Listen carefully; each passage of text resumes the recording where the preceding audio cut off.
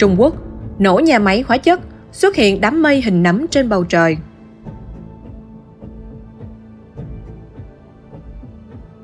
Vào đêm 31 tháng 1, nhiều cư dân mạng đăng tải video lên mạng cho biết một vụ nổ đã xảy ra tại một nhà máy ở cơ sở năng lượng và hóa chất Ninh Đông. Đoạn video cho thấy bầu trời đêm phía trên nhà máy đột nhiên sáng lên, kèm theo ánh sáng nhức mắt. Một đám mây hình nấm màu cam bay lên không trung, kèm theo bụi mù mịt, cảnh tượng vô cùng đáng sợ. Một nhân chứng cho biết, vào khoảng 9 giờ tối ngày 31, họ đang lái xe từ Ninh Đông đến Ngân Xuyên trên đường cao tốc Thanh Ngân. Khoảng 10 phút sau, khi lên đường cao tốc, họ nhìn thấy một đám mây hình nấm nổi lên ở phía xa. Khi đó, họ vẫn còn cách hiện trường vụ việc hơn 1 km và trên xe không nghe thấy tiếng nổ.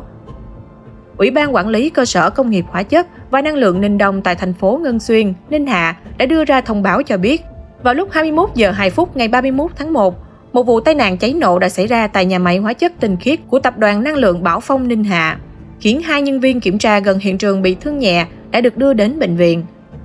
Chiều ngày 1 tháng 2, phóng viên truyền thông Đại Lục gọi đến đường dây nóng của nhà đầu tư năng lượng Bảo Phong.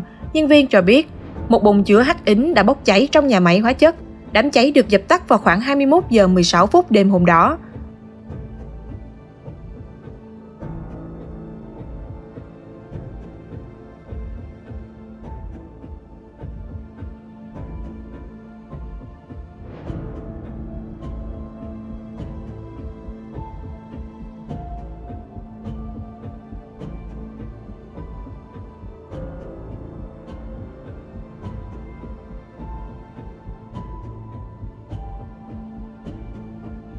Được biết, nhiều vụ tai nạn đã xảy ra tại căn cứ Ninh Đông trong năm 2023.